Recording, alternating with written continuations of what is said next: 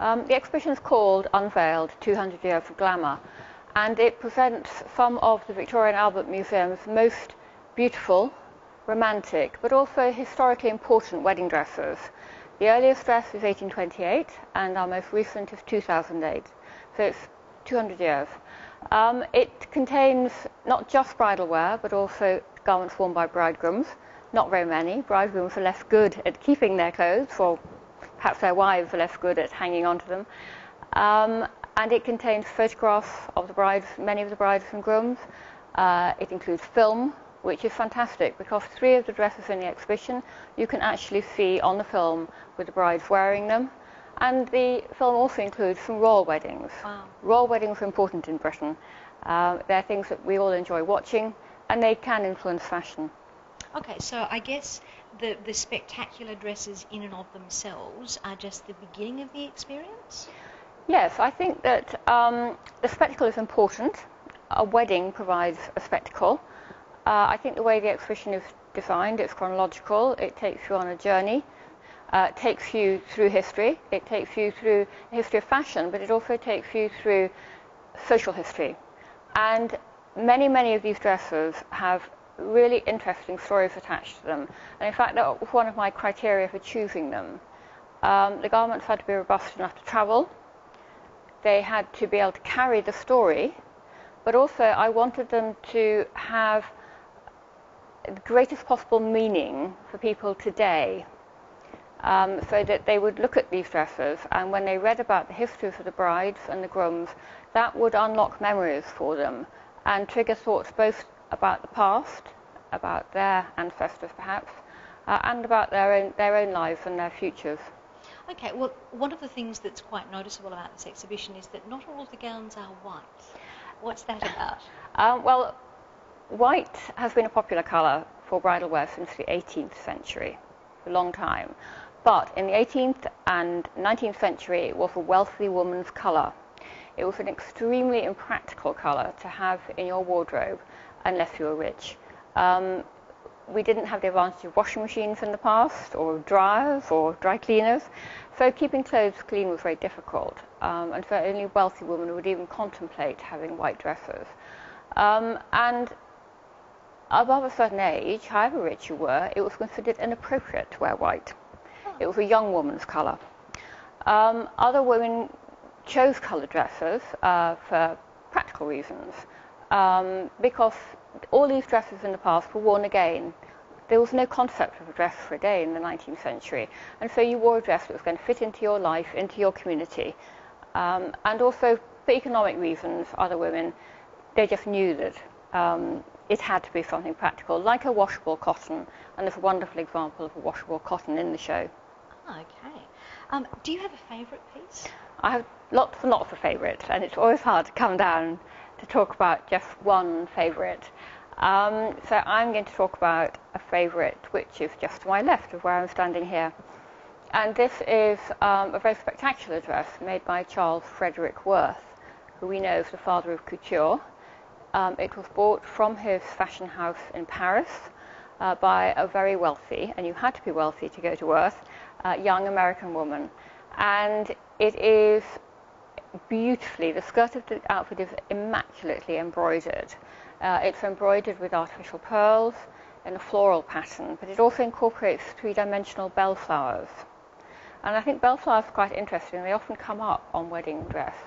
And I found a letter in our archive when I was doing research. And the woman wrote saying she she'd love us to have her veil with bells on it, with wedding bells on it. And I wondered whether that was why people liked bellflowers. I, ne- I can't substantiate this, but I always think of wedding bells when I see that dress. Um, it must be incredibly difficult to travel with something that is so fragile, that is, has, has such beautiful embroidery on it and so much delicate work. Uh, well, every single bead and tassel were checked um, to make sure the dress was stable enough to travel. Um, some elements of it were encased in their own little silk bags to make sure that they didn't move too much when it was um, in, the con- you know, in its crate, in the container. So we are, we are very, very careful. And everything, everything that's in this show had, were, had to be robust enough to travel. Everything was also conserved. Some things had many hours of conservation work done to them before before we you know they were ready to, to, to come. Um, some will not be in the V&A exhibition um, because they need a, they'll need a rest by the time they get back to the V&A. Um, so we have to make lots of judgments about how long we can put things out, how important the dress is. Um, so why is it important then that um, collections like this are a collected in the first place, but preserved and taken care of and available to be seen by the public. Um, you know, maintaining them for public view is obviously an awful lot of work, but why is that important? Well, I think access is at the heart of what museums do today.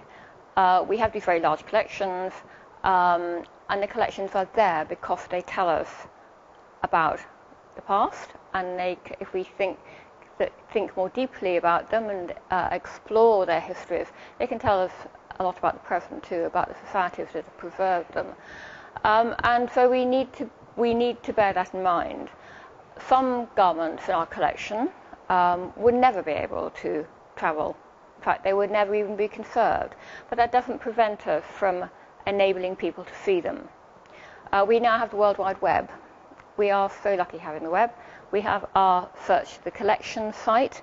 We have many thousands of garments on this site, and many of them have photographs attached to them. So that's another way of, of seeing these objects from the past and informing ourselves about them. So, for the people who are coming through this exhibition mm. um, and seeing these beautiful gowns and, and marvelling mm. at, at, how they've survived, what would you like them to, to think and to feel as they go through, and what would you like them to take away?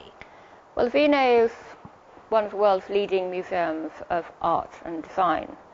So, and because of that, we are very lucky in that we have garments uh, of the highest possible quality of design and craftsmanship. There's a lot of craftsmanship in this exhibition, and I hope that people uh, will be they can get close enough because of the wonderful design of the exhibition to see the marvelous work that handwork has gone into a lot of the um, garments and also the innovative, innovative design. You know, we've got 200 years of wedding dress here, and the wedding dress is still relevant to brides today, and that is due to design and innovation, um, and utilising the technologies of one's time. So I'd like them to take that away with them, and the beauty and the beauty of the garments. Um, I also hope it will make people more curious about objects. Um, I love looking at things. I'm a thing person, and I, can, I only have to look at a thing, and all these questions pop into my head. And I hope with the information we've given the public, they will start questioning their own objects and maybe go home and look at some, a photograph of a granny and say, what is she wearing there? Why did she choose that? Where did she buy it? Why did she go to that place to buy it? Why did she have herself photographed in it? And I think we can learn so much, not just about our own lives and our own families, but about society as a whole through that. So it's about sharing our history uh, yes. our joint history and, and exploring our individual history and perhaps finding our place in the world? I think so. It's about identity um, and it's about community. And I think the great thing about the V&A bringing an exhibition to the Western Australia Museum is that um, we are sharing our collection with a much, much wider audience, but we are at the same time learning from the Western Australian Museum. You have a lovely exhibit um, of wedding dress alongside ours, uh, which I find absolutely fascinating. It, there's a wonderful waistcoat. I want to know more about it. And so I think we, we're, we are, through networking, through partnering each other, we are starting a debate. And that is what life should be about. It should be about communication and sharing. Lovely. Edwina Ehrman, thank you so much for your time. Thank you. Thank you.